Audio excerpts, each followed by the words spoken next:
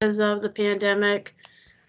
Back in, I think, June or May, the um, governor extended the open meeting law request of being in a public place. We can do it via Team, Zoom, um, which is what you guys have decided to do.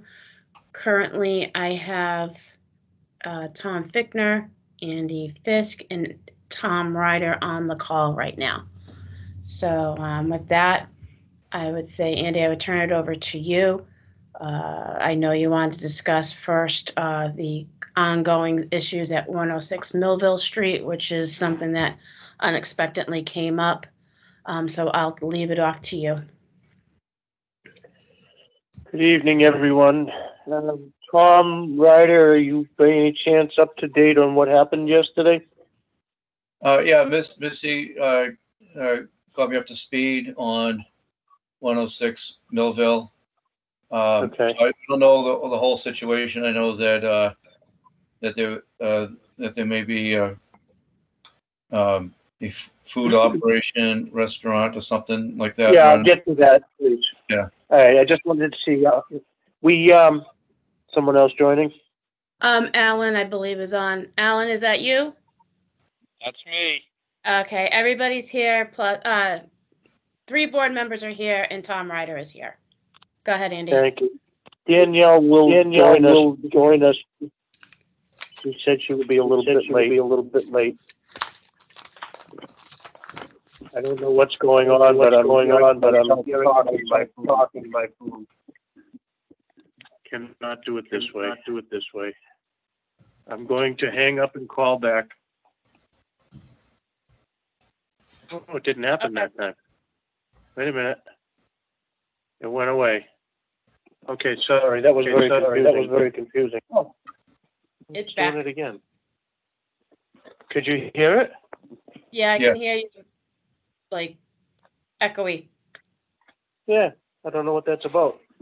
Okay, um, so last Friday, Missy got contacted by Michael Cahill from the state that there was a, an alleged illegal slaughterhouse and kitchen at one oh six Millville Road, which I guess is now called Millville Street, and I actually, the reason for my saying that is because it's important that we if in fact this is true, and I, I asked some of the cops, and I don't have a straight answer just yet, because Mendon now has a new dispatch, and I'm getting a little sidetracked, and I'll get to the point in a minute. Mendon has a new dispatch. It is no no longer down downtown. It is in the town of Norfolk, and um, oh my god, I had an issue with um, trying to identify where the situation, I, I was calling to get the police department to get an assistance of an officer, and I had a hard time with them understanding where I was looking for an address. So it's important that I was saying Millville Road, apparently it's Millville Street, and we got that straightened out. I did get the assistance of an officer when I got there, there was two officers that followed me in. Danielle was on scene. We went to the door. I spoke with a man. I I don't know his name, unfortunately. He was Brazilian. His son, I think they were calling him Kevin, was translating for us.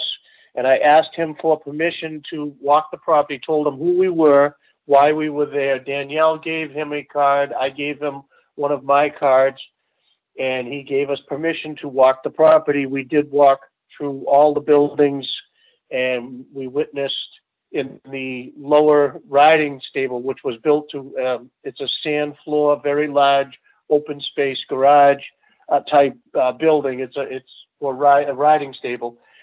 Had numerous um, tables and chairs set up like a restaurant type thing with an, a bunch of tables put together like a counter there are um, probably 20 to 30 dozen of eggs, all in, in dozen, one dozen boxes. Um, there was some uh, long stem cane there, which I don't know what they use that for. Uh, there was some other food items on the tables, and on the walls were menus with prices on them. I have pictures of all of that. Um, in, in, in discussion with him, he said, yes, they, they do entertain there, but he said they don't sell, which was a lie because there was at least three different walls that had the menus on them with the prices. Um, there was a, an event there, one of the officers spoke with one of the neighbors, and there was an event there recently, um, at this, at one oh six Millville Street. And the neighbor had walked over there during the middle of the event, and he said it was like a farmer's market. There was all kinds of food on the tables and money was exchanging hands.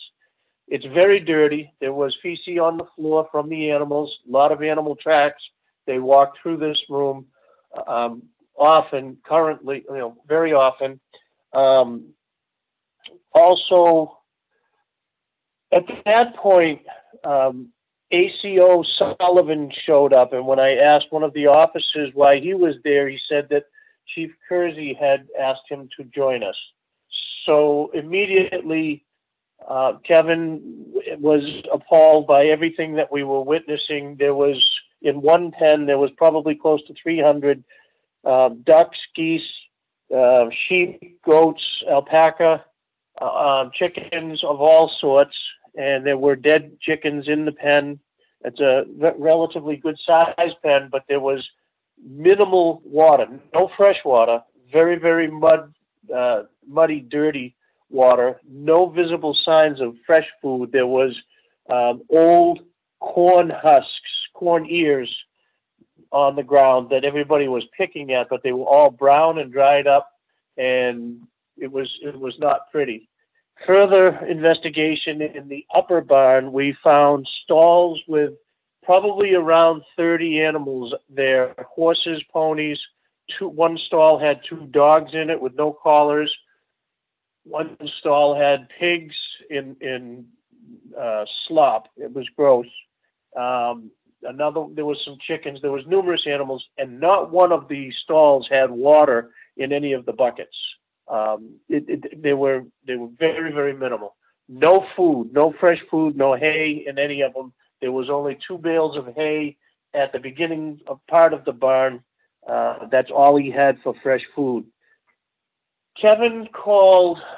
Um, Michael Cahill left a message. Kevin called um, Tufts Veterinary Services. Kevin called Mass Equine, and he also called um, uh, ASPCA. Everyone did show up, and there was an, uh, a cow, a calf in the pen that was extremely ill. It had tags on its ears. When I asked him where he bought it, he said Littleton auction. It, it's been there about 60 days. This cow was very, very weak and actually toppled over while we were sitting, standing there talking. Um, at that point, um, Tufts Veterinary Services was there she and Peter Hawks from from Hawks's farm went into the pen and uh, sat the the animal back up. It was very very ill. The the, um, the vet did start administering um, antibiotics and and meds to rehydrate this poor thing because its its bones, its spine, it was very emaciated. Spine, it was it was not pretty.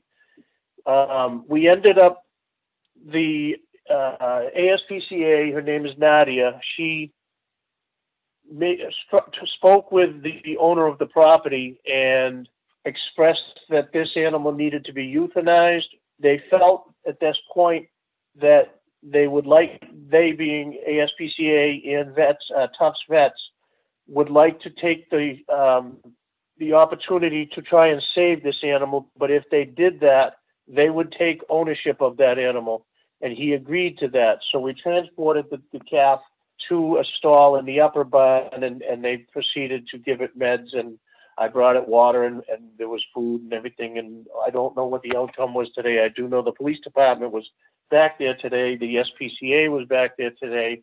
Um, there was some goats that were um, in trouble. They were also confiscated.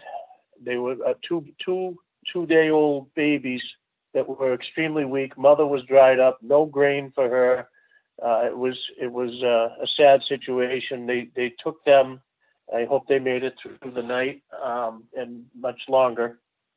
In conversation with, um, Detective Erskine this morning, he called me and asked me what our take was on everything that happened yesterday, and I, I told him how, what we responded to, the call for the, um, possibility, the alleged illegal slaughterhouse and the kitchen. And in walking, he and I walked, and um, some of the other officers walked the entire property, and nowhere did we witness. Actually, Tom Fickner walked with us. We we nowhere did we see any um, no no signs of any kind of a, a slaughterhouse operation. No nothing that would make us believe that. But there was the restaurant, and we told them. And Danielle, our health inspector, she walked it with us too. She uh, very uh, strongly and explicitly told them, no more. This is closed. You cannot do this. Explain to them why we, Tom Fickner explained to them why we were there and what this was about. And, and there is, you know, you need to, the process that they need to, if they do in fact want to go forward with some kind of a, a farm store or, or something like that, they need to come forward and start the process. There is a whole process to the whole thing. Um, in conversation with Nick Erskine this morning, he asked us what our take was on closing this facility.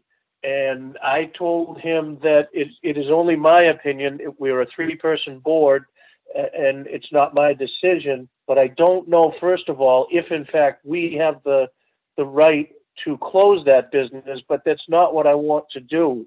The man is from Brazil and he obviously uh, wants to be a farmer. That's probably the life he led over there, and he has a passion for the farming thing. You know, the but he needs to. This isn't Brazil. This is America, and it, we do things different here. And the, the the entire place needs to be cleaned up and give him some guidance and some help to give him the opportunity to possibly turn this situation around and have a clean, healthy farm where the animals are very well taken care of as opposed to what we witnessed yesterday.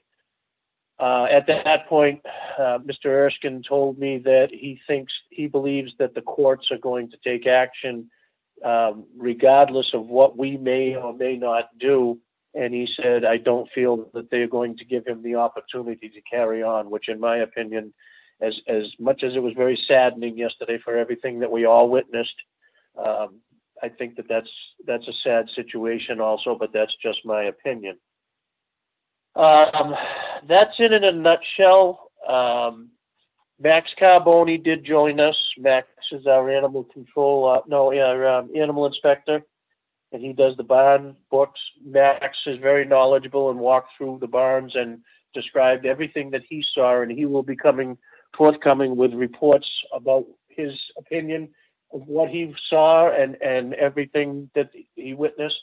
Um, Max also sent me numerous texts with pictures of a business page on Facebook that this man they call Cowboy, I don't even know his whole, real name, he is, is has been running this um, restaurant type service for a long time. He comes from Tyngsboro and he suggested that possibly we reach out to Tyngsboro Board of Health to see if maybe they have had any issues with this gentleman over the years. Uh, I don't know if that was done today or not. Um, I think that's about it for right now. I'm sure I'll think of something else as we go on. Tom Fickner, you were there. Could you chime in, please?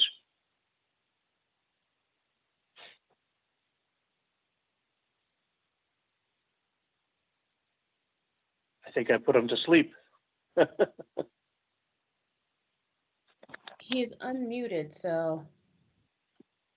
Holy cow, when nobody answered, I said, don't tell me I spoke all that for nothing because my phone died. No, no, no, All no. right, But I, I did want to let you know I got an email from um, Danielle. She, Danielle, she's not going to be able to make it tonight.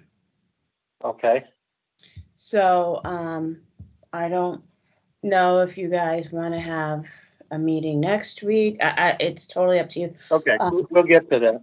Yep. Alan, Alan, would you do, uh, I know you, you had other, um, commitments. I appreciate you coming there to, to show up and, and, um, it's all good. What do you think about all what I just said? Um, I'm in uh, total agreement, and I thought you did a, a very good job describing the situation.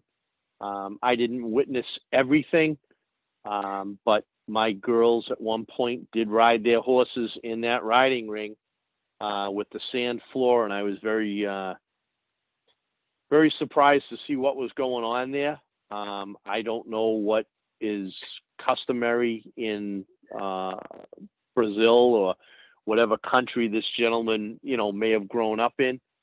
Um, but it, it, it is, uh, it was an unfortunate sight. The animals were pretty much being housed in what was formerly the manure pit, um, which periodically uh, Peter Hawks would come and clean out.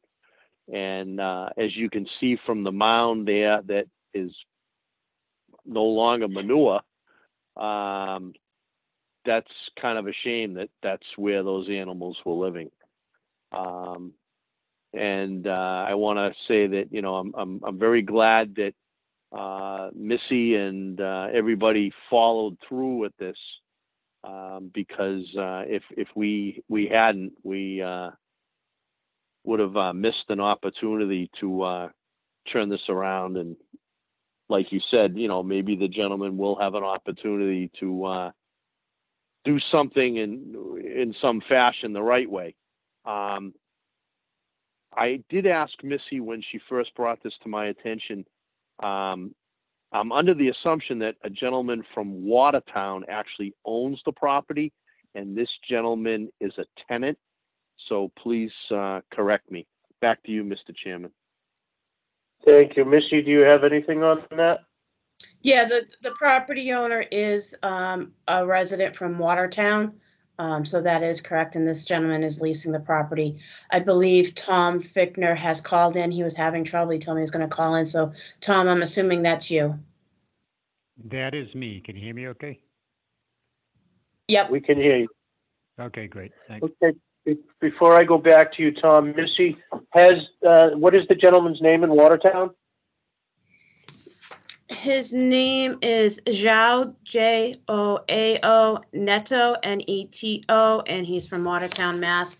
He also owns another property in town also. Could you please respell that? Uh, I didn't have a pen in hand, I'm sorry. J O?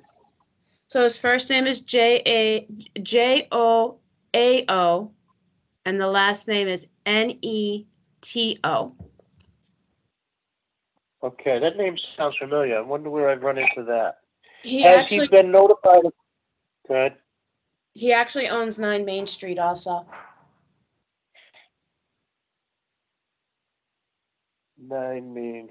which one's that? It's the one that's um opposite the um on the other side of the church. Is that the one we're testing? Uh, Yes. okay. Yes. Okay. Um, that might be why I remember it. Has he been notified of this situation? Do you know, Missy? Not that I know of, no. Okay, I'll reach out to Detec- Detective Erskine and, uh, fill him in so he can follow up on that. Um, Tom Ryder, I've got a question for you. Uh, first of all, before I go to you, please, Tom Fickner, did you hear my whole run-on spiel? I did, yeah. Uh, you know, you summarized it um, very well. It was uh, unfortunately a sad, you know, sad situation with what's going on out there. Um, they, I know in having some brief communications with um, the the two gentlemen there, I think one actually might have been the, the son of the other gentleman, I believe, right? Yes, I think his name was Kevin. Kevin or Brian, yeah. Um, Oh, yeah, that might be right. I'm sorry. Yeah. So, um, you know, he- he did, uh, the gentleman mentioned, uh, who wasn't able to communicate well with the English, had mentioned that, um, he had been operating a restaurant. Um, actually, you should show me a business card with that cowboy reference on it, Cowboy Cafe up in uh, Lowell, I believe, for a few years. Tyngsboro. And then, oh, was it Tyngsboro? Okay. So, um, you know, that had been a venture that he had been involved with. Um, but they did mention that, you know, he does apparently have a farming background, that he did quite a bit of that in Brazil prior to coming here, and I, I guess was looking to kind of implement, uh, or re, um, redo that farming, uh, here, uh, you know, in the United States at this particular location. But I think unfortunately, given the state of the, the animals and the situation, I think, you know, before he'd be able to do that, um, whether or not he'll get the opportunity to correct the situation without actually being completely shut down. Um, you know, I hope maybe we could at least give him an opportunity to correct all that's kind of not right.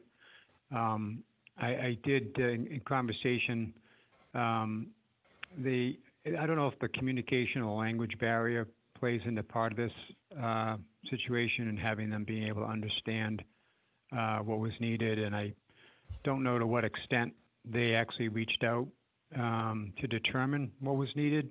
Um, we did have a conversation about licensing and there was some reference to, um, them initially doing a reach out, uh, to the town about that. Um, but unfortunately, I don't know to what extent or what information they were given or, you know, to work with. But, um, be- go ahead. I believe, excuse me one second, he said that he went to the town hall three times and could get nowhere. I, I really don't believe that because had they gone there, and supposedly Brian went with them, had they gone there, they would have been redirected to the Board of Health office. So that's why, because I asked them, did they talk to someone? And they said yes. And I said, did they direct you to the Board of Health? No. I said, okay. So I, I don't throw a lot of credence onto that one. Sure, yeah. So, um, you know, it's, uh, like I said, it's a sad situation. Um, and again, the question will be to, based on the seriousness of the conditions, how, what will the allowance be for them to move forward to potentially correct it, you know, or not correct it? Um, you know, one of the things that, that I had mentioned to the, the gentleman there, um, and really was kind of the only reference I had made as to why we were there. I, I centered my um, statement around the concern for the animals, you know, the animals' well-being. Um, I hadn't specifically mentioned any of the other uh, issues uh, that were presented to us as possibilities for what might have been going on, you know, as I didn't fully know them myself. So I left it basically that the, you know, the core, um, the core element, the core reason we were there was simply to uh, determine if the animals were being kept safely, uh, healthy, and so from that perspective, I don't know if anything more might have been said to them on the departure part of it, um, in summary, but, um, that was, uh, that's how I presented it. Back to you, Mr. Chairman. Did you hear the part of my statement where I, um, Detective Erskine, when he asked me about how we felt about closing them down, and I told him about uh, uh, hoping to, to help them to get corrected, and we may not have the opportunity. The courts may take action. Did you hear that? I did, yes. And so, you know, it may be out of our hands. I, you know, if they were willing and able to correct the situation and, and take, you know, take immediate action, uh, you know, I've always kind of like to give an opportunity. Um, but Yeah. if they're not able to, and um, then, you know, we'd have to have them cease and desist, you know, for the sake of the animals' well-being. You know, Okay. So that segues into my next question to Tom Ryder.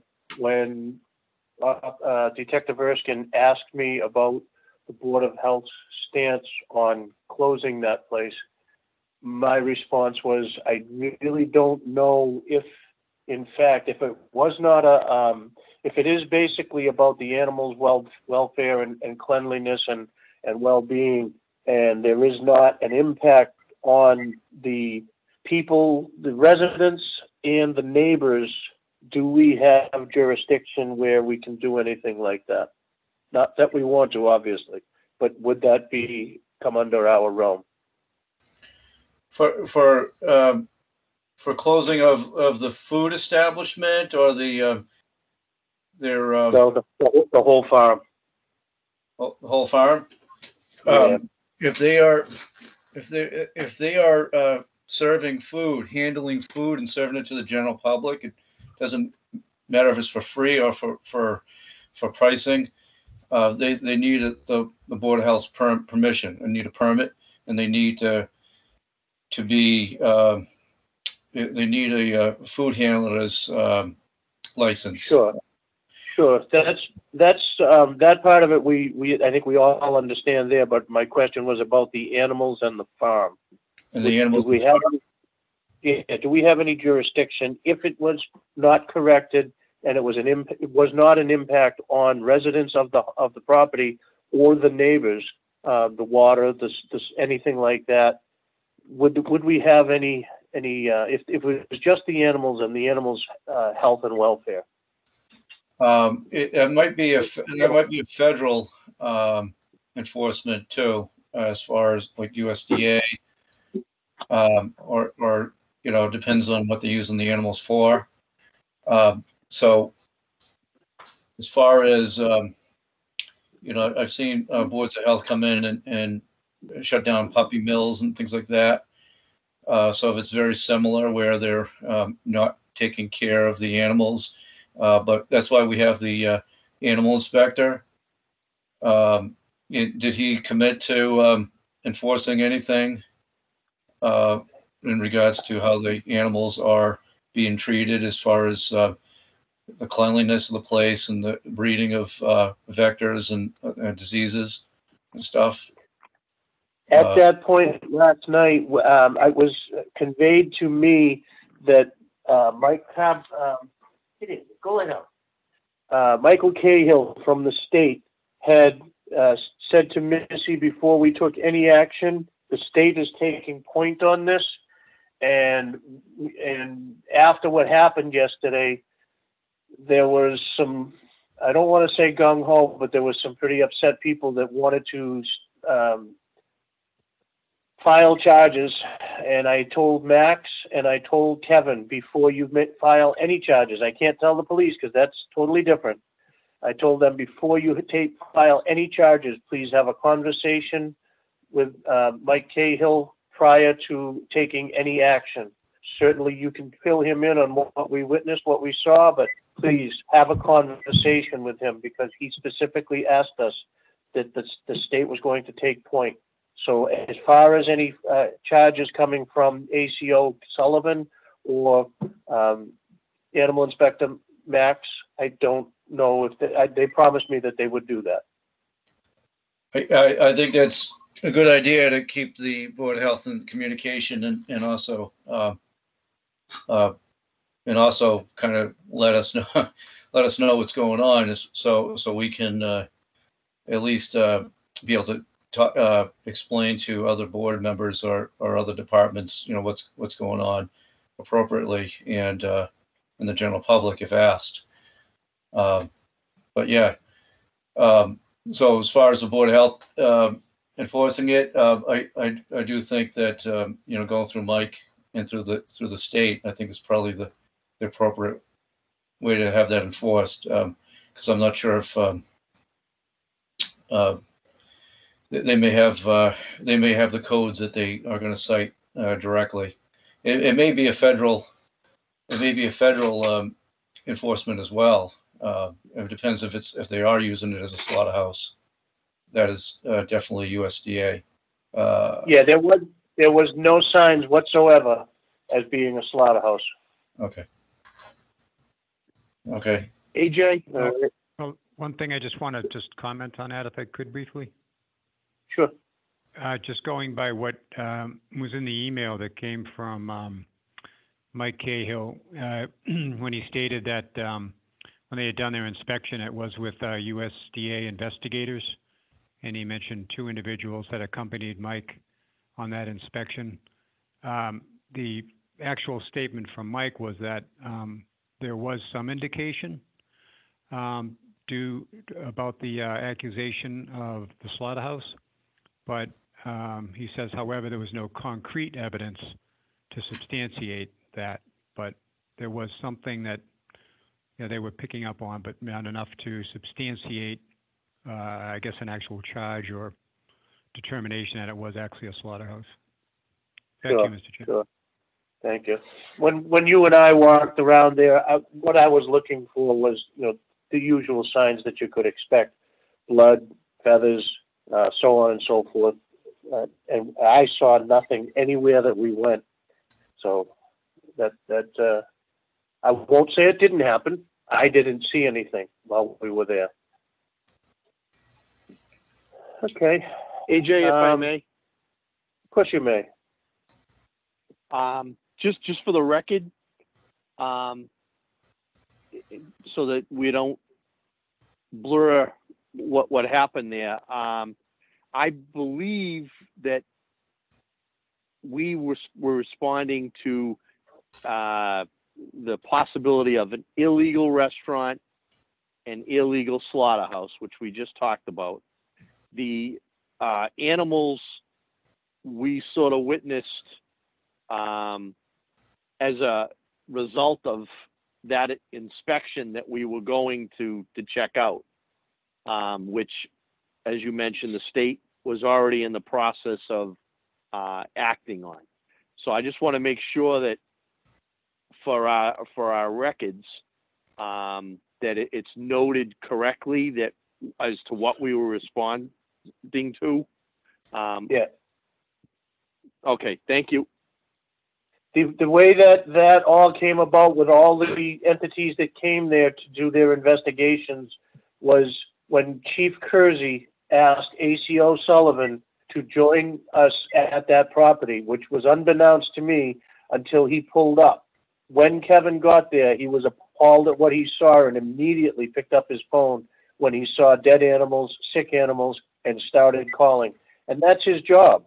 So he he was very very upset uh, up until the wee hours of this morning. I, I left there at almost ten o'clock last night, and at one o'clock this morning he put a post on Facebook. So he was still out there, and he's he's quite upset. So that's how all the animal inspectors and uh, the powers to be, whoever they were, vets and and uh, SPCA. That's how they got involved. That was above and beyond us. So we did our part and, and we conveyed no more kitchen, no no more. And he said he understood. So we did. That's why we were there, and I stayed because we in, in- instilled the the start of this yesterday afternoon.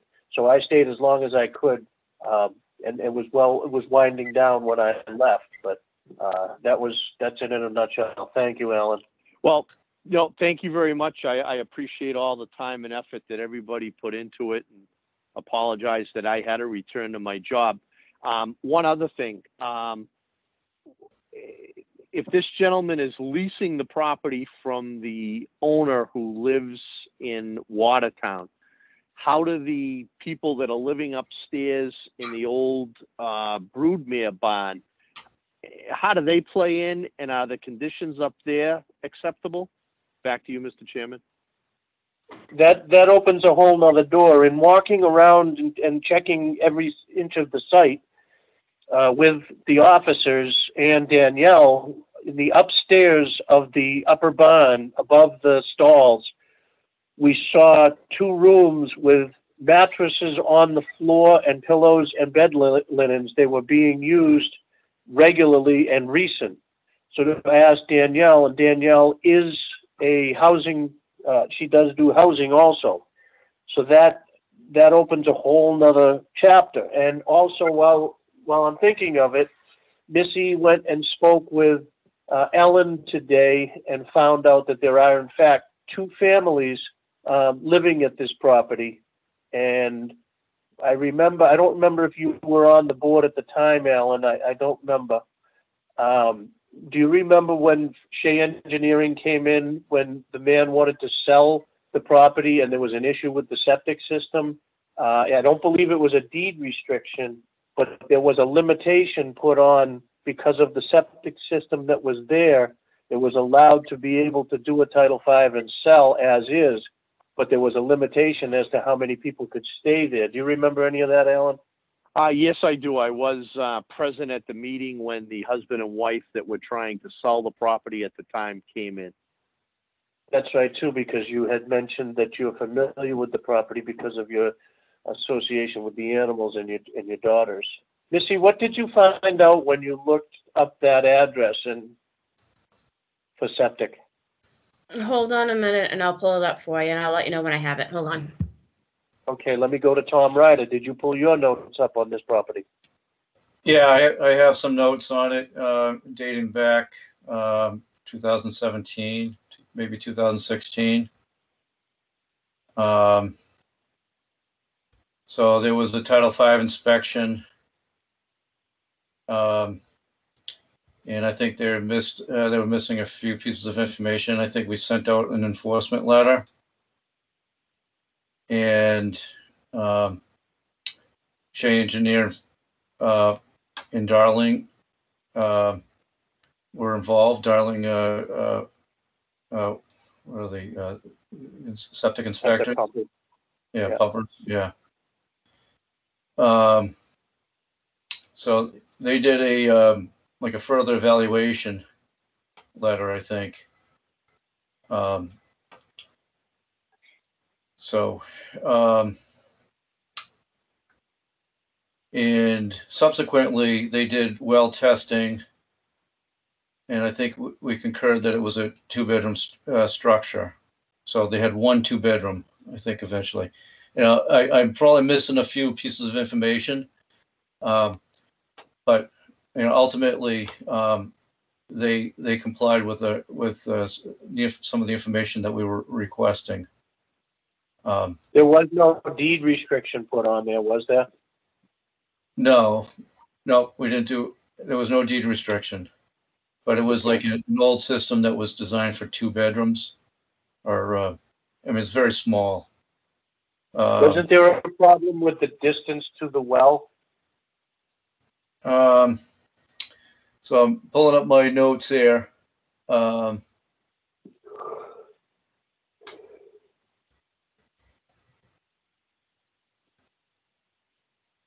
oh. Hold on. Taking a while here. So, so, um,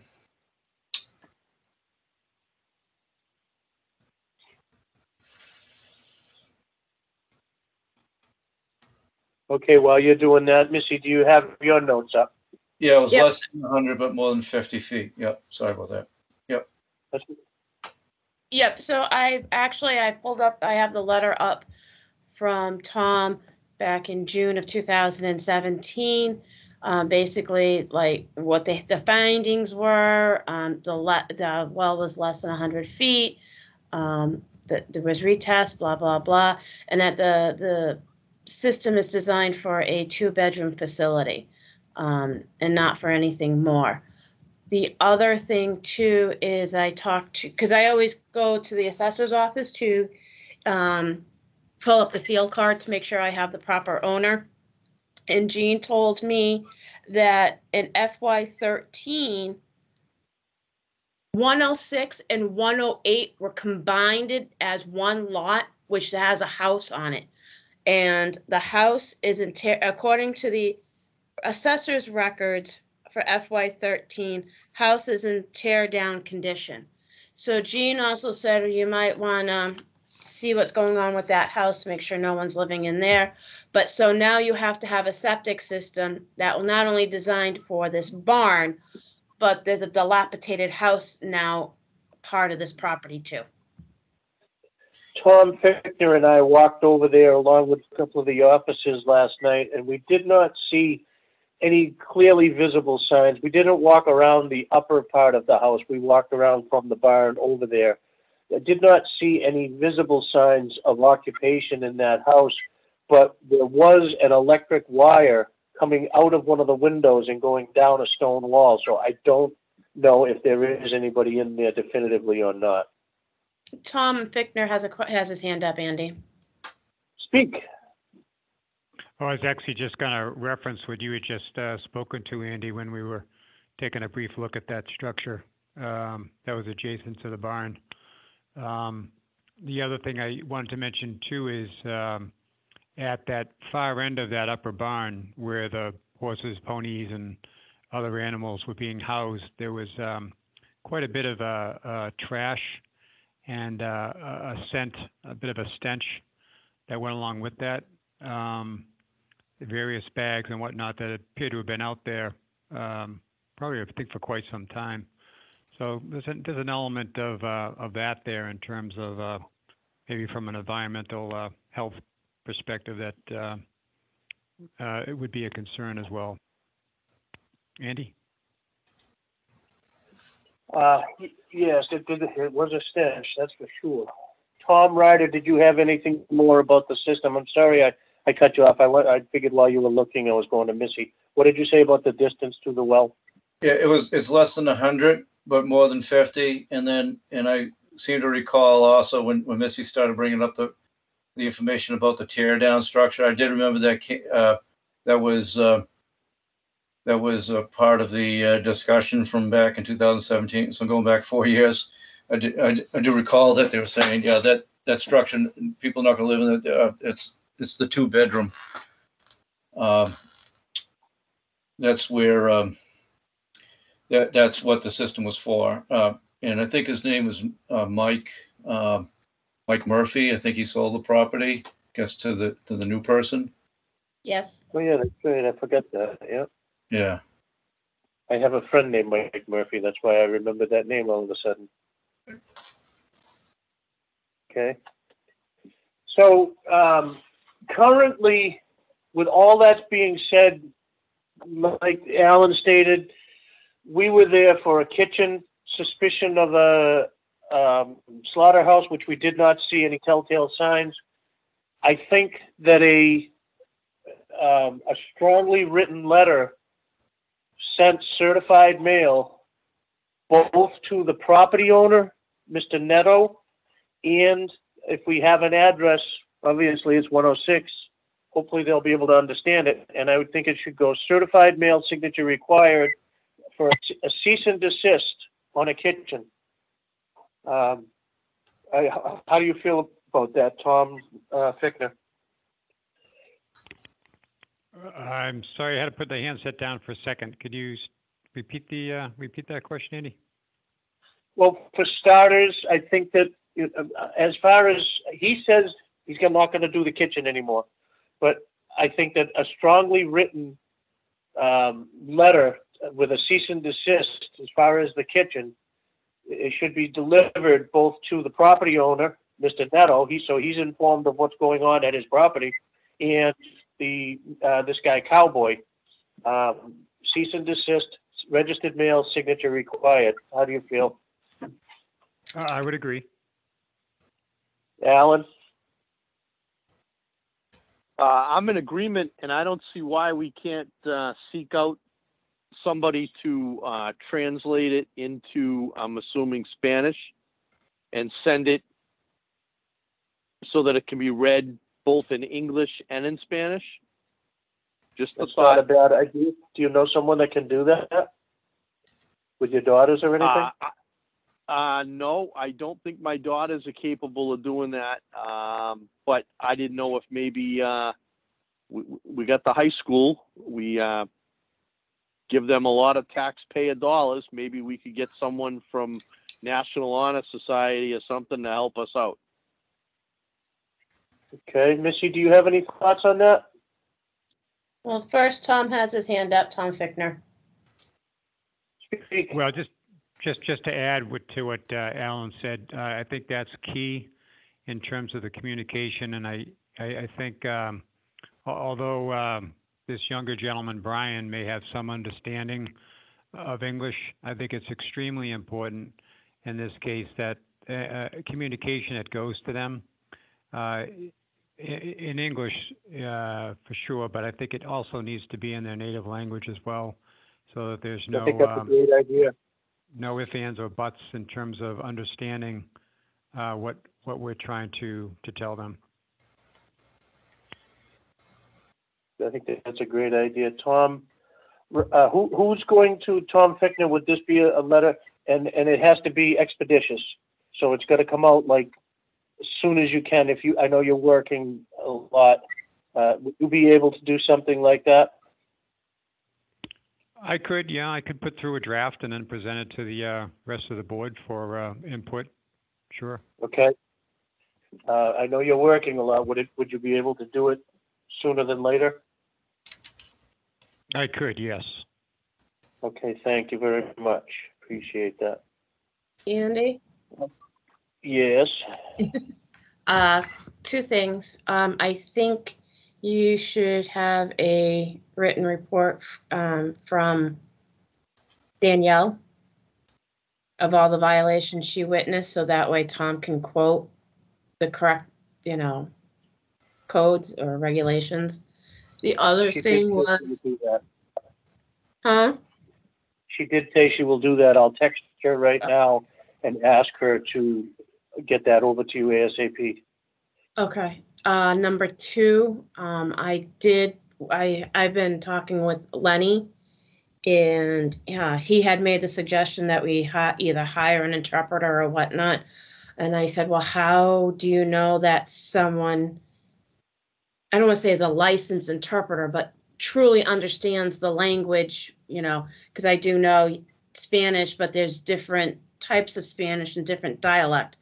So he said that Milford did have a, uh, think it's Spanish and Portuguese um, interpreter, and that he would reach out to this person and see if they would be willing to work with Mendon on this issue.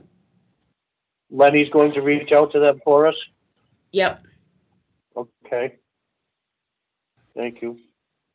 That's, that's a great idea. Thank you very much, Alan. No, you're very welcome, and Missy, thank you for, um, already anticipating my thought.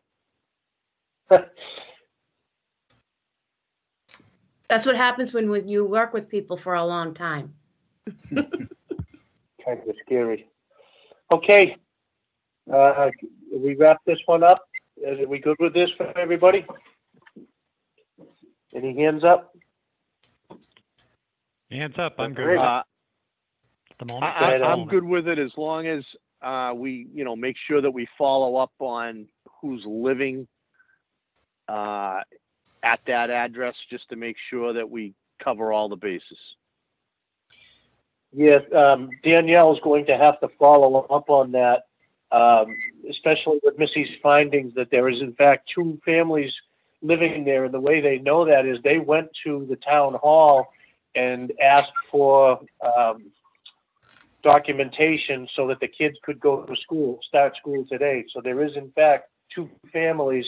And I believe that when Missy and I were talking today, it was eight or nine people. And that's an overload for that system. So first of all, it's a housing issue because of what we saw. And then second of all, it's, it's taxing that septic system. Yeah, it's a very, again, you know, go ahead. sorry, it's Tom. Um, yeah, it's a very small system, two bedroom. I think it was like 200 square foot, uh, designed from 1981, thousand gallon tank. Um, uh, but I just wanted to make one comment regarding the translation. Um, so it doesn't become, uh, something that slows down the process. The state does have, um, headings, um, that, that we can find in, in probably in at least seven languages, you know, including like Chinese and Portuguese and uh, French, Spanish, um, so on and so forth, that says this is an important notice, eh, you know, to get it translated. So you can send it out that way, and then um, and then if you need to get another translator in, right immediately afterwards. So at least they don't take a look at the letter and say, I, I don't know what this is, and crumple it up and throw it away. Uh, least I'll see see that, and then he can uh, the the individual can um, go to his uh, you know buddy who interprets things for him, or his son, or whoever it may be. Uh, so it's it's just in bold, just an important notice. Uh, please get it translated. Very good, thank you. Missy, could you take over for a minute? I have to step away for a minute. I'll be right back. Please, Okay. Thank you. You're welcome. So listening with everything that's going on as far as 106 Millville Street is concerned, and correct me if I'm wrong, Danielle is going to write us up a report on the different violations that she witnessed. Tom is going to do a draft letter uh, to be sent to the property owner and to 106 Millville Street, um, certified mail for both, once we get the, you know, the final draft done. Is that basically it in a nutshell?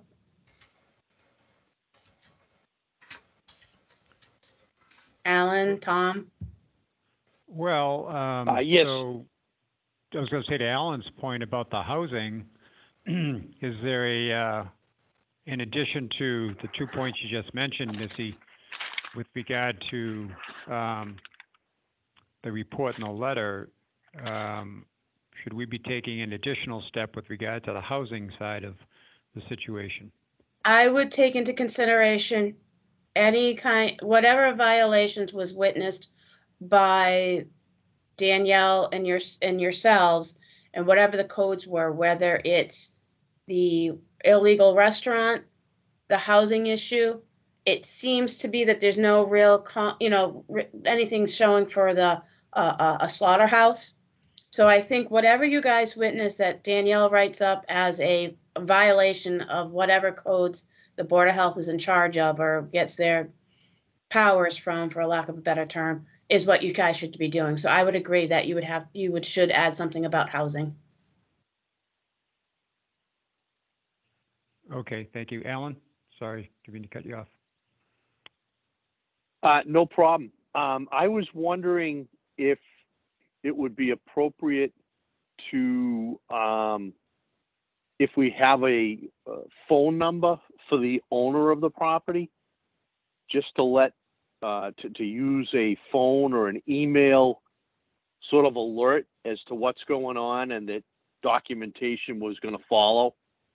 Um, just, just a I- thought. I can ask the assessor's office if they have any kind of a phone number, but typically, I mean, there's no business certificate, so there's no one to contact through that way. Where if Ellen had something on file because they were running a business, so I, I, I can also check with Gail because this gentleman did try pulling building permits which I denied because of septic issues. So um, let me, I'm not, uh, unfortunately, I mean, unless you guys tell me otherwise, I was supposed to take tomorrow off to spend time with my daughter before she goes to college.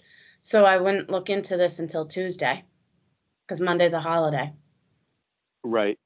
Um, I guess the only reason I was thinking about that on the property owner side of the situation um, was because of um, trying to get this done uh, as quickly as possible. Um, but you know, if it's got to be Tuesday, it's got to be Tuesday, and that's not an issue. I mean, you're entitled to time off. Um, I, I just, like I said, I'm, I'm, I'm grabbing at straws, trying to think of how to get this stopped and the appropriate people alerted as quickly as possible. Obviously, people put a lot of time into this yesterday. Um, you know, trying to get it under control. Um, and I, I'm, I'm concerned about the people living in the house. It, it, it sounds pretty much like it's just the Wild West. I mean, I, I, Um, I, I, I do have my laptop with me. I'm actually home tonight because of the weather and everything. But, um, so I will check it occasionally because we do have an issue going on. So if I see reports from Danielle or if I see, um, Tom has come up with a letter, I will definitely forward it off on to you guys. I, I don't want you to think that I'm not reachable or anything like that. I will check my emails just to make sure.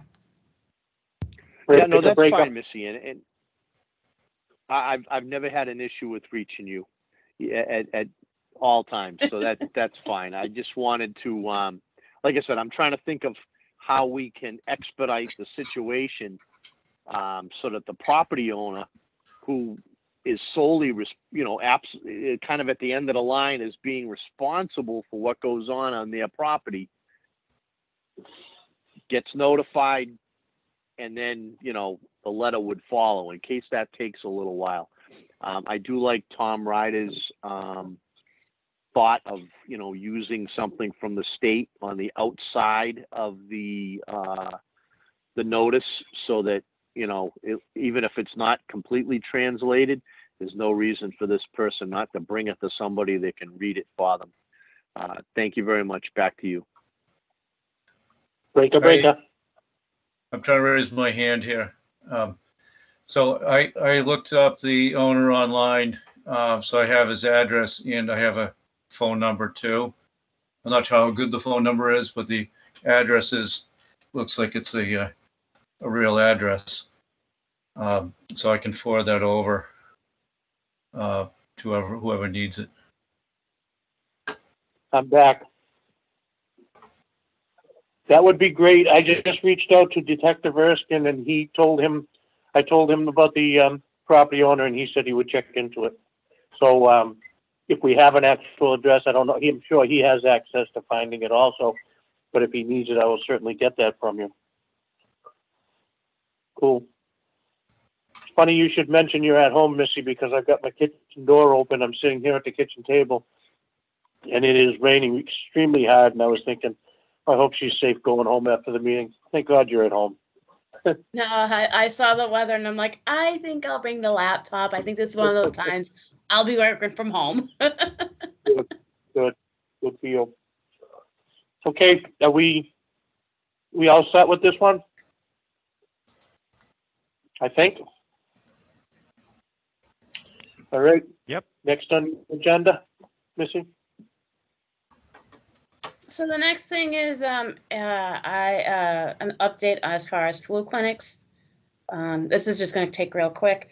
Um, I've been talking with Anne. Ann told me that she was supposed to meet with Uxbridge last, um, last week, or the, no, I'm sorry, on Monday, um, with Erin to talk about possibly having a four-town flu clinic.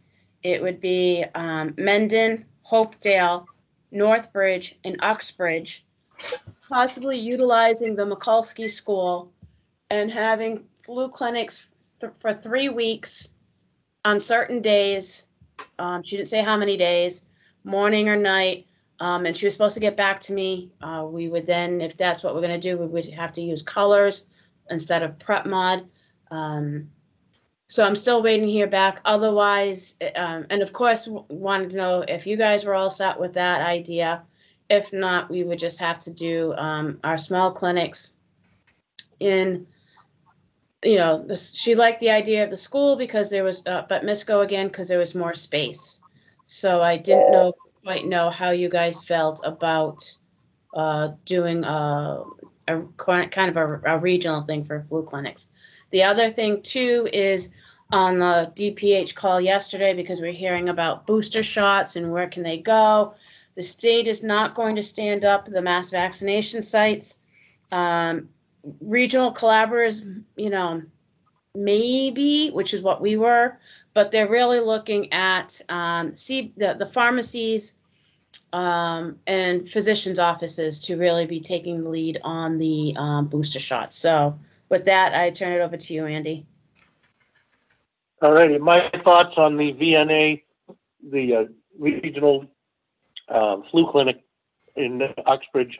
I thought it was a good idea, two different times a day for three days. It gives more opportunity for everyone to go as opposed to what we've been doing, senior center and our office. Um, I thought it was a good idea, my end. Tom, how do you feel, Fickner? Yeah, I agree. I had the opportunity to talk to Missy about it the other day, and um, um, for the same reasons, it gives uh, more flexibility um, for folks to obtain the flu um, shot. Um, and I, I kind of like that regional approach, so I'd be on board with the with that concept. Thank you. Alan?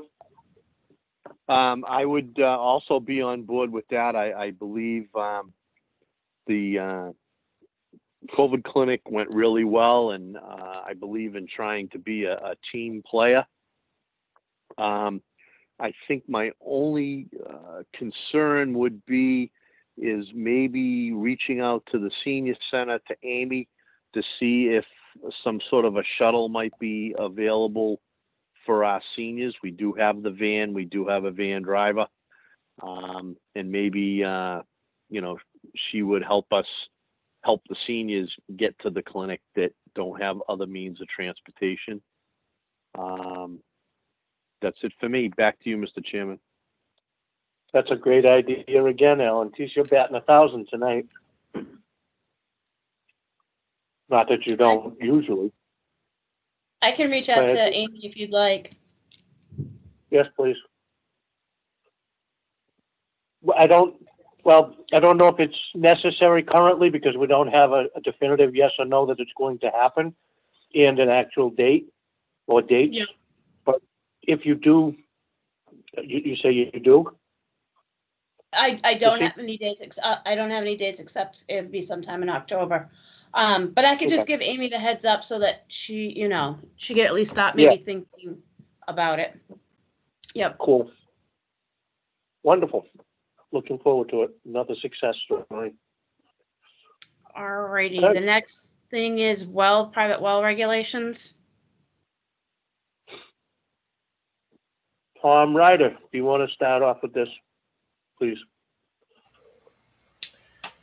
Um, yes, so I reached out to a couple of people that I, I know at the, um, that either worked for DEP or, or are still there. Um, one, of the individuals says he's, he, he's gonna look through it, um, to give his, his feedback. Um, I haven't, I haven't heard back from the other person that I know. Um, so, um, partly, uh, they think it's a, great, a great idea to enforce the requirements for uh, testing every three years. Uh, and to put it on the, um, you know, ask the uh, Title V inspector to do so, or, or just, um, or find a way to get somebody to, you know, forward uh, test results, as as long as it's not too onerous where you're, you're requiring like, um, you know, metals and volatiles and pesticides and, you know, so just make it like a, a reasonable amount, that stuff that you typically see. Uh, he says that some, some towns require like testing for foaming agents. And he says, I've never seen it hap in thirty years. Uh, so he thinks that's kind of overboard, but, you know, the typical, you know, Title five scan and, you know, for bacteria and nitrogens, um, and even volatiles, um, are, are a good idea. So he's going to take a look at it a little bit more. Um, as far as, um, as far, as far as the comments, uh, on the, um, you know, for, you know, for, for the other, uh, for the other changes, I haven't heard, heard anything back yet. Um, do you guys, anyone have, have, take a look at the, uh, um, the red lined document. I hope, hopefully I sent it over, um, last, last time. Um, you know, changing, um, I think I changed over a little bit of section two, a little bit of section three. And I think we were working on section five, which is well location requirements. Um, I think we had, uh, we were commenting on stable and manure storage areas and how to, how to kind of button that up. Uh, Andy, mm, sorry. While I'm thinking of that, I did uh, talk to Max about that.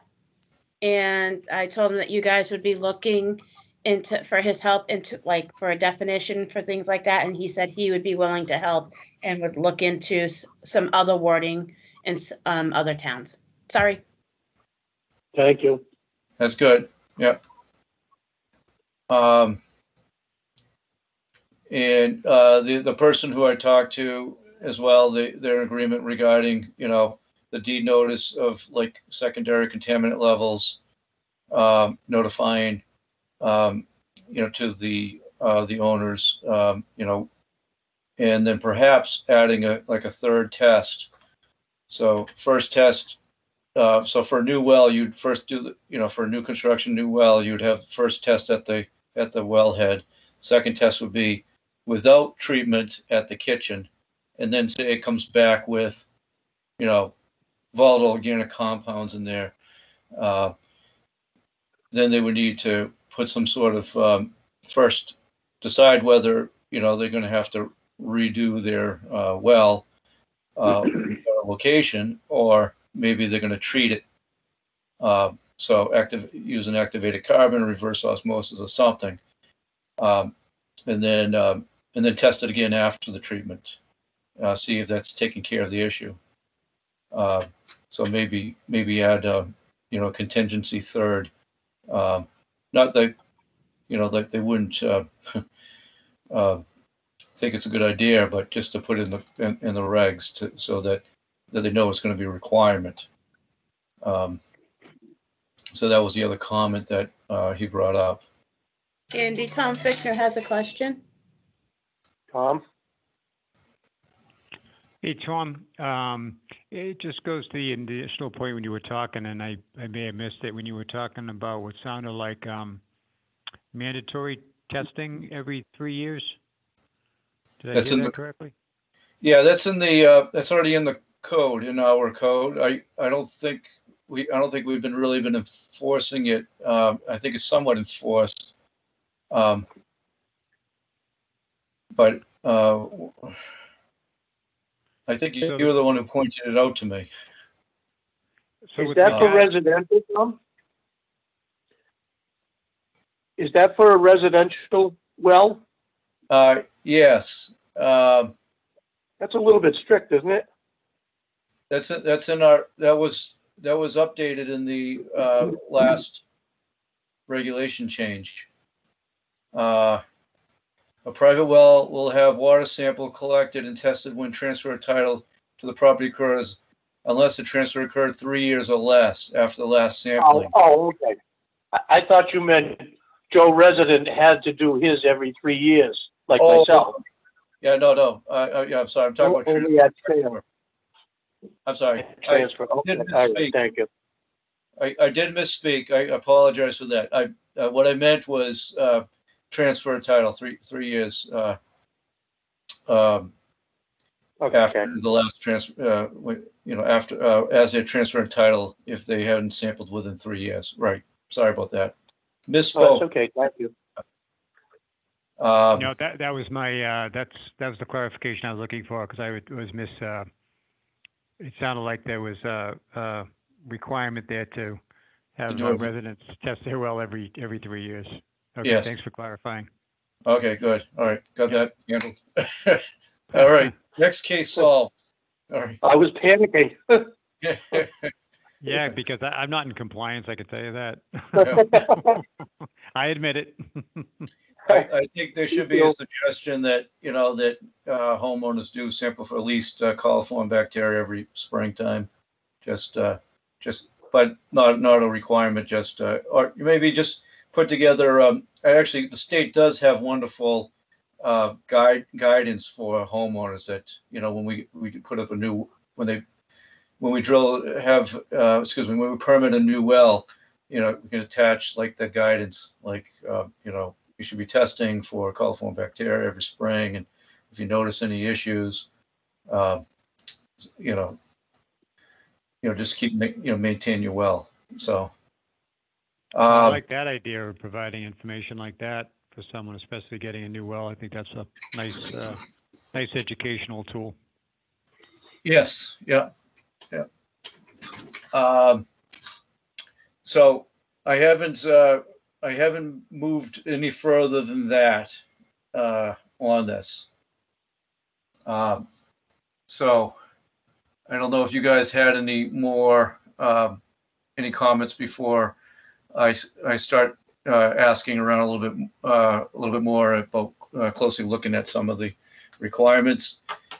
I know we were talking about um, what a semi-public water supply is and whether uh, whether that's going to be a you know like for a condominium association uh, association uh, that they need to maintain that water supply and whether it's going to be allowed to have one well or multiple wells.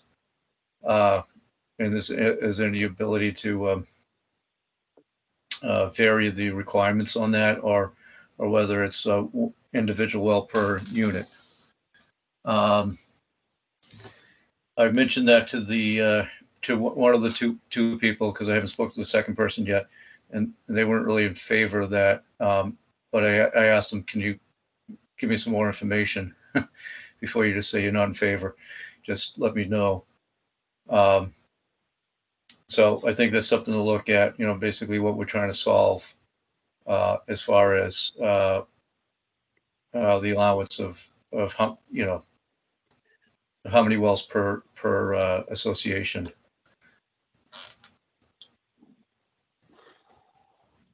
Tom Fickner has his qu- hand up again. Yeah. I'll, I'll, I'll tell you. Um, I did have, uh, just, just one thought, and I, I know we briefly had touched on it with regard to what's currently in place, um, in the well regulations. It's, um, under the section of water sampling procedure, 5.5. Um, and in particular, what we have written for, uh, the item number eight. Um, when we talk about, you know, a private well will have a water sample collected and tested, you know, when a transfer of title to the property occurs, unless the transfer occurs three years or less after the last sampling and testing. So that, that's what we clarified. The second Yeah. part there talks about uh, what the parameters are to be tested, uh, basic screen and, and total coliform, um, except that the board may require testing and other parameters at their discretion. I'm just wondering if there's a consideration for um, modifying that, or, you know, a lot of it may have to do with the nature of where we are geographically and the, the things that we run into in the area that we live that may or may not warrant um, parameters, certain parameters being tested beyond the basic screen. I mean, I'll, I'll defer, Tom, to your expertise. I just throw it out there as a, as a thought.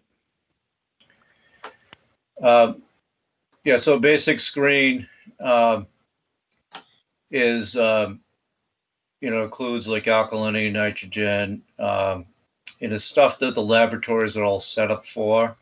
So it's a very, it's, it's a, uh, somewhat comprehensive test that, you know, it, it doesn't give you like all the, um, uh, you know, primary concerns like, you know, like the cancer causing agents, uh, you know, volatiles, organic compounds, but it does include, you know, other stuff like nitrogens and stuff like, and stuff that indicates that, you know, their septic system is too close to their well or they're being, or is being influenced, wastewater is being uh, influenced in their well. So that, it's important for that. Um, now, as I'm typing here, my, uh, my, uh, my Word document just, uh, went blank. So, uh, I wasn't able to add that note. So if you could email, email that, uh, comment to me, that, that'll be good. Uh, I just had to shut down the, uh, my Word document, for, um, uh, because it crashed on me. Um, but, you know, the basic scan should, should be, um, something that a laboratory could come in and, and run the sample, or the homeowner could do it themselves. So the laboratory with similar bottles, they can um, just do a quick sample and send it out. Uh, it's quick and easy. They don't have to worry about, um, you know, forcing water into small little test tubes that need to be airtight, um, which is kind of a pain in the neck, and that, um, and and they're, you know, fairly inexpensive. So it's a, I think it's a I think it's a good protocol. Uh, and it'll give Okay. them a good basic background. Um, Okay, so, so it sounds like the word, even though I'm seeing the word basic, it does sound like this basic screen, as we're phrasing it, uh, is rather uh, involved in terms of various components that it, it does look for. So it sounds like maybe it is some, you know, at the comprehensive, somewhat comprehensive in that it is, um, the word basic kind of threw me a little bit. I just wondered uh, if it was enough of a screen, but it sounds like, you know, Oh, that basic oh, is it- screen is Oh, you go, yeah, oh, so you're going the, oth- you're you're going the other way where, where it might not be enough. Okay. Yeah, so like, it, it, Right. um, it, it, uh, like it will give you like conductivity of, of the water, but what does it actually mean? Uh, so if, if you, if you look at the conductivity, um, it could just mean that there's, um, you know, certain things that you got to watch out for. Uh, you know, if it's a neg- uh, in the negative or the positive, you know, if you, if you're, if you, uh, you know, so it may not give you enough information, but it may tell you there's something there that you need to con- continue looking for. Uh, or it could just, or it could be nothing. so, so it does give you, sometimes it leads you to more questions than, than answers. Um, uh, yeah, we can look to see, um, you know, I, I, you know, I know Hopkinton had, I, I think went the completely other direction at one time where they had so much to sample for. I think it was, um, why are we sampling for cadmium? You know, we're not near a landfill. Um, you know, uh, yeah, volatile organic compounds are good, but are they, do you need them every three years? Or maybe it should be like every, you know, eight years. Um, uh, but if, yeah. if you see volatile organic compounds, uh, in a prior sample, then yeah, now you gotta monitor, you should be monitoring it. So, uh, yeah, so I'll, I'll look at that. I'll, you know, I'll take a look at, uh, um, you know, one of these uh, laboratories, Microbac or Alpha Analytical, whatever, you know, just kind of put together a list, you know, what, you know, basically if there's a, like, kind of like a plug and chug uh, screening that they, you know, they offer uh, that kind of fills all the uh, information that I think that we, we need, especially because, you know, this whole town is septic and well. Uh, you know, in, in some cases, uh, farm animals, I guess. Um, make sure that, um, we're, we're, uh, cornering the areas, that need to be addressed. Um, you know, if Yeah. it's near, near an That old was factory. Um, like, And uh, that was if- kind of the idea that I had, just with regard to what our environment is within our community, within our town, what we face, say versus another community that geographically is structured differently in terms of, you know, the environment, so. Right, if you're in the Um, arsenic belt, uh, uh, arsenic belt, then yeah, you should be sampling for arsenic. Uh, At least, uh, you know, at least a few, first, uh, few rounds to make sure you're not drawing up any arsenic. Um, So, um, okay, yeah, I'll, I'll put that on my, uh, thing to do to see if I can get some basic, uh, uh, uh, comprehensive and basic scans that, that, uh, that laboratories offer uh, to see if it fits.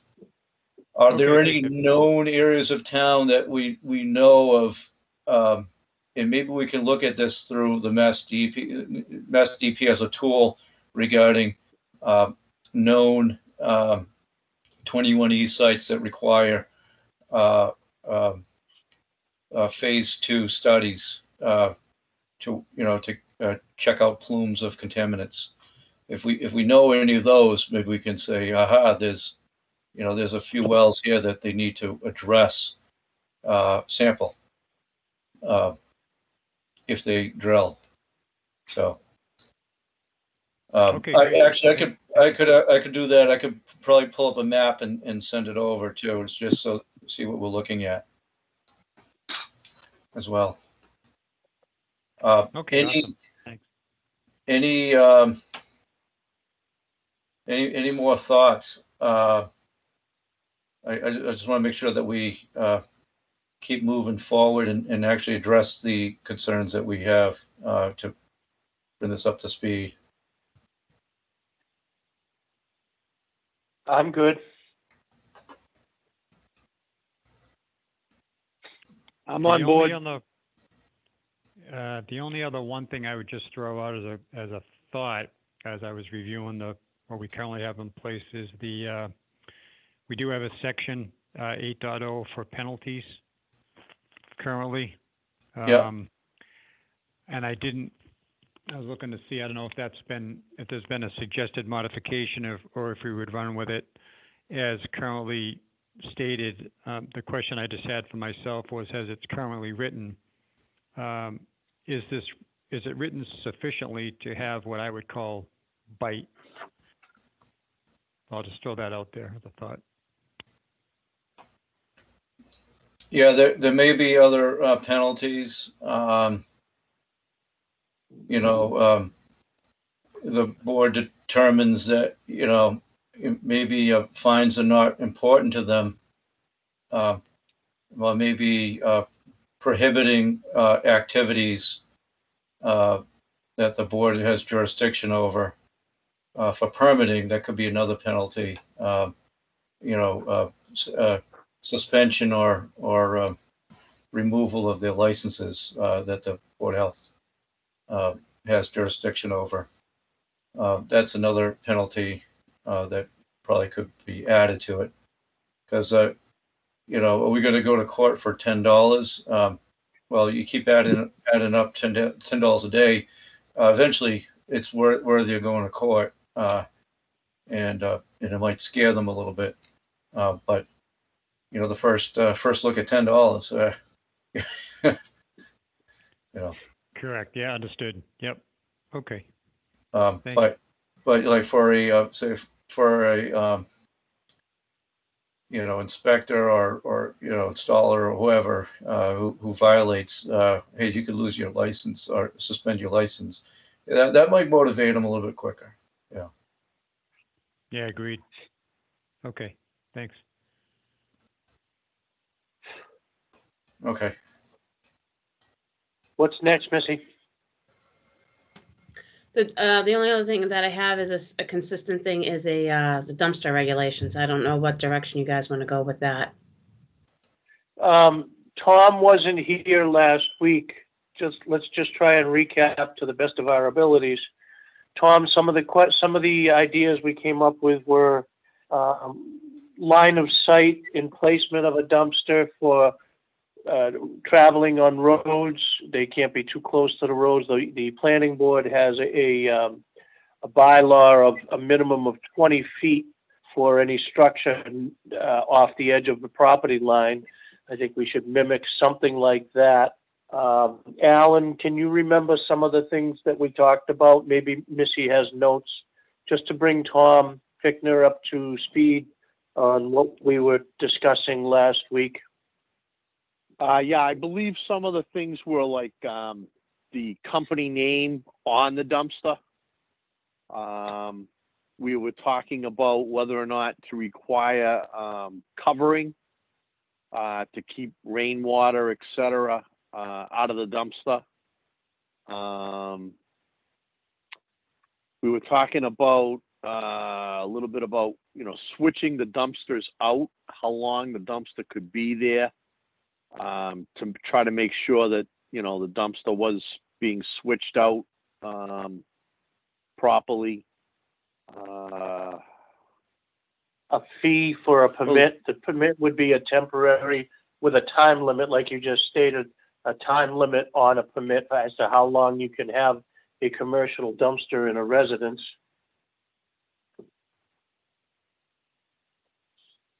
Go ahead, Alan, sorry.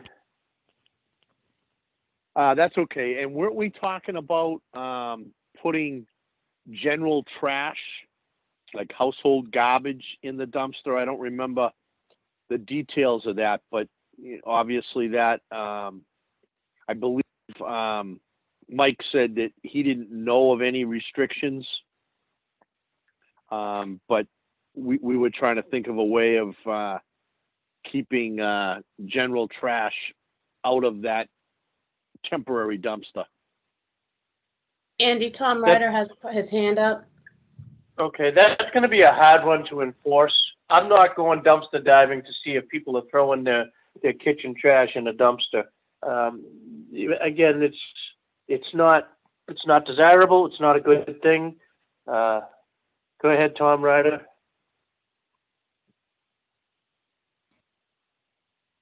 Sorry about that. Uh, is it, ok- uh, do you guys still need me? I, I'm jumping on to another meeting, uh, in my hometown right now. Thank you very much for joining us, Tom. As usual, you're a wealth of knowledge and we appreciate you. All right. Thank you, guys. I'll, I'll talk to you soon. Thank you, Tom. Thanks, Right. Tom. Thanks, Tom. So Missy, do you have anything to remember from last week's meeting that we can bring Tom Fickner up to speed about? Uh, subjects that we started discussing as to potential, um, rules and regulations for dumpsters? Uh, I, I think those are the basics. I think it's really just trying to figure out what exactly, what type of regulation you want to create. Um, is it, you know, and what towns that have already created these regulations. I think I sent you guys copies of Upton, I think it was, was Boylston and a one other town, might have been Millville, that have Uh, dumpster Northbridge is regulations. one of them. Northbridge. Um, just to give you guys an idea of what other towns have done and, and just really to try to figure out what are you trying to accomplish and how are you going to accomplish it? What do you, do you really want in these regulations? That's all I can think Mike? of. Andy. My question is enforcement. I mean, we can make these regulations and charge fees and, excuse me, have permits. My question is enforcement. If a neighbor is complaining about a dumpster, which is, is their right, who's gonna go out there and, and enforce this? The zoning officer? The cops? They're gonna say, that's your regulation. That's my first thought. They would be right. It is your regulation, whether it's a- your health agent, a board member, or whoever you designate. The only thing it will Lenny's help not gonna do that. Well, maybe when we get this other person for the eight towns, maybe that person, since, you know, some of these regulations I've sent off to you guys, is gonna be working for these towns. Um, but yeah, it's gonna be under the Board of Health, so you've gotta figure out how you would do your enforcement. And when someone calls and complains about a dumpster, now maybe you have a little bit more teeth compared to right now you have nothing. Right. That's my only, sug- my only thinking is when you have someone complaining in a residential area, someone's doing construction, someone is doing, running a business, and they've got a 20, 30 yard dumpster that only gets, you know, cleaned out once a month. Now you have teeth as far as a regulation. And Tom Fickner has a question. Oh, I can just say Tom now. Yeah, just one Tom on board. Um, well, just to um, support what Missy had just said, uh, and to your question, Andy, about enforcement. Um, so you're you're right, Andy, in that you know um, we as individuals aren't about to go out and start dumpster diving. However, to Missy's point, if there's nothing in writing anywhere, then there's no basis for any kind of enforcement or any kind of a guideline that, um, let's say there, people that want to follow the rules will follow in terms of utilization of a dumpster. You know I I mean? get that. I get that. I was just um, taking somebody else's role, playing devil's advocate, and um, just trying to. I'm certainly all for the regulations with what you just said. It's like a locked door, or an unlocked door. I don't know. It'll keep the honest people out. Um, so it'll keep the honest people complying. But we're going to have the ones that are going to thumb their nose at us. So that's my only concern. Um, just a, a future thought. You know, I'm certainly all for starting regulations because as, as we've stated, we have nothing. Well, you played the DA role very nicely. Um, and I was Devil is in the details. That, well, that's it. And, you know, as Missy said, you know, whether it be this new individual in this role with this regional position or, you know, uh, health agent or somebody within our group, um, it would be, if we created these regulations, it would be, the onus would fall upon, you know, the Board of Health, you know, to follow through. Um, I was noticing in the, you know, the Northbridge Board of Health regs for dumpsters, they actually do specifically have as one of their guidelines uh, that there shall be no commingling of household waste with what they're calling C and D waste. So you're right, though, in terms of enforcement, that's probably going to come down to a case where we'd be following up on a complaint where somebody is seeing something that doesn't seem right So as we normally do, um, we, you know, in follow-up is where we would come across visually confirming what is being, um, you know, is what is being presented and hopefully can, it's just a matter of simply correcting the behavior, you know, should it come across, but, um, again, I, I'm not a proponent in general of overregulation.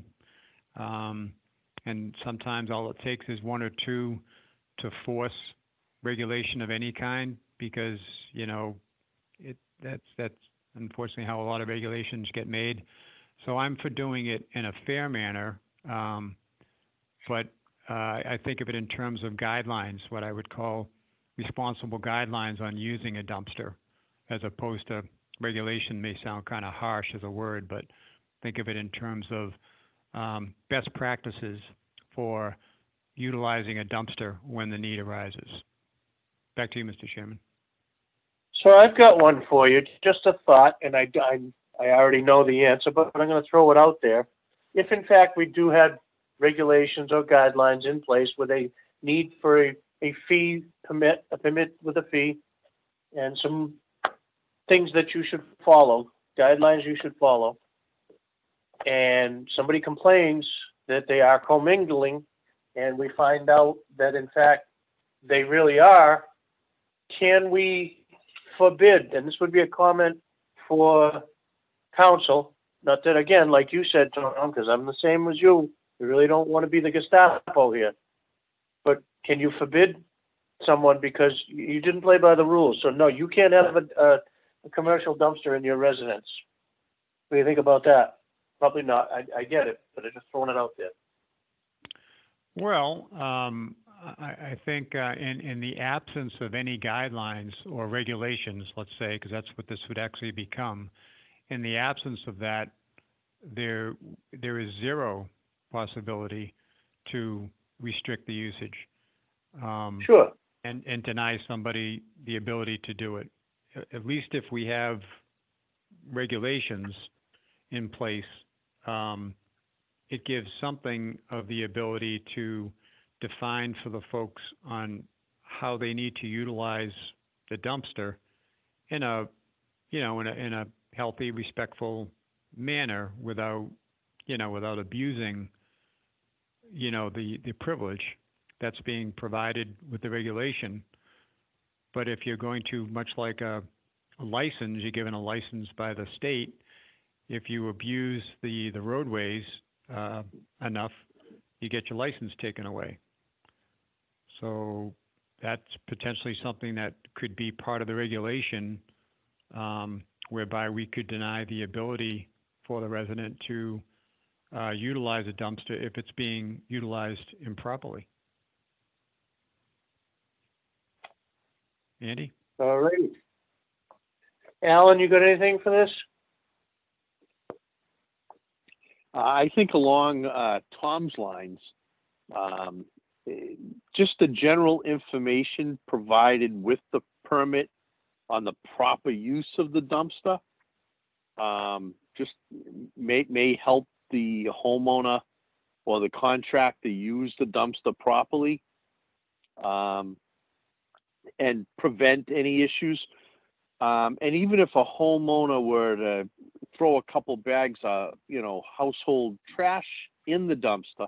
If the dumpster isn't there for a long period of time, or if the dumpster has a cover on it, it's probably going to prevent any issues because if it has a cover on it, things are less apt to blow out. If it's emptied on a regular basis for the period of time that it's there, stuff isn't going to sit there too long. So I, I think in general, some of these guidelines uh, may help prevent complaints and prevent issues.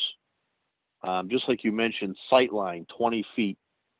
So, you know, hopefully that won't, it won't be, you know, uh, offensive to uh, a neighbor where the dumpster is placed.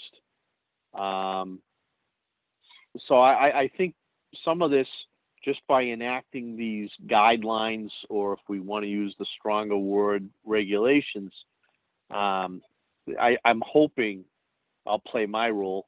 I'm hopeful that some of this will take care of itself. Back to you, Mr. Chairman.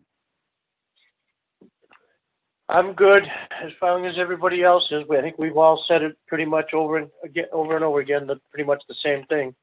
So I, I think that, uh, I, I'm not ready to make a, formulate, unless you guys are, to formulate a structured regulation at this time. I- you- what do you guys think?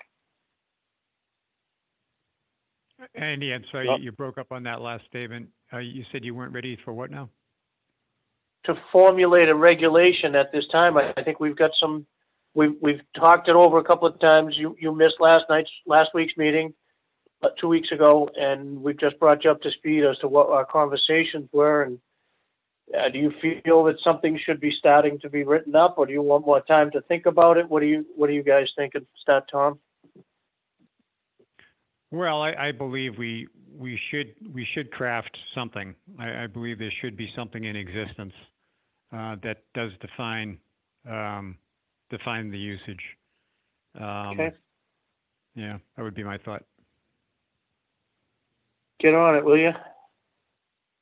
All right, right after that draft letter I'm gonna work on.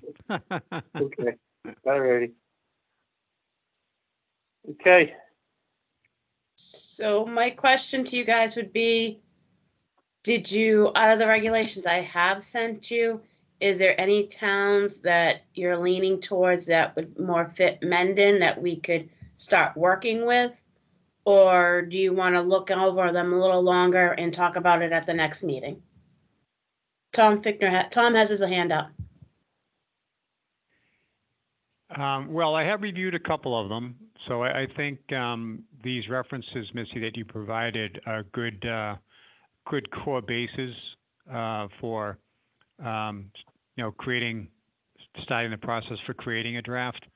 Um, and of course, we just have, I mean, these are similar communities to, to Mendon. Um, and I, I think, um, this, there's a good starting point here with the information we have. It's just gonna be a matter of, it'll take a little time, because we're gonna have to maybe pull, pull from one, maybe pull from another. We want, you know, to craft something that, you know, meets what, you know, we think is appropriate for Mendon. Um, and it just be, it's gonna be a little process. Um, but I think we have some good starting information to, you know, to, to start with. Can I make a recommendation to you guys? Absolutely. sure.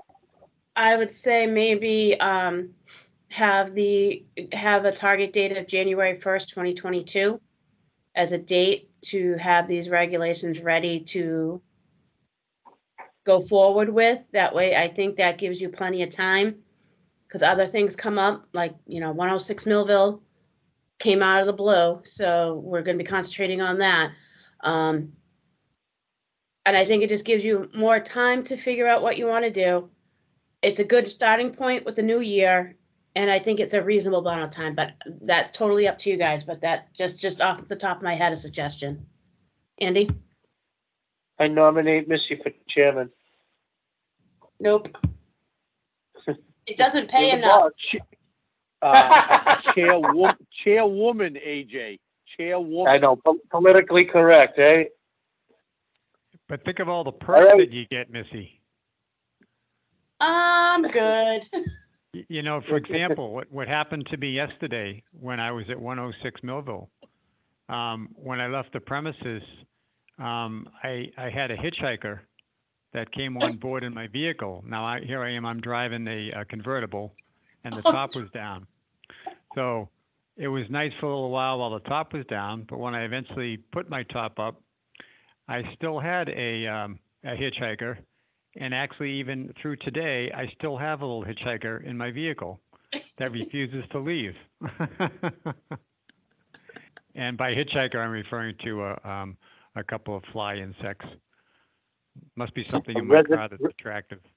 The residents, residents from the farm, Yep, yep. yeah. All right, I agree with Missy on the April, uh, yeah, April first. January first, that, that, let's shoot for January first to have these in place, start of a new year, start of a new regulation. And, uh, next week, we will, after reading the, uh, other towns, we will start a bullet point, um, things of, that we would want, and we will start structuring, starting next meeting. When is the next meeting, Missy? Well, that, I was just looking at the calendar and there are four Wednesdays in September. To actually a total of five starting tonight.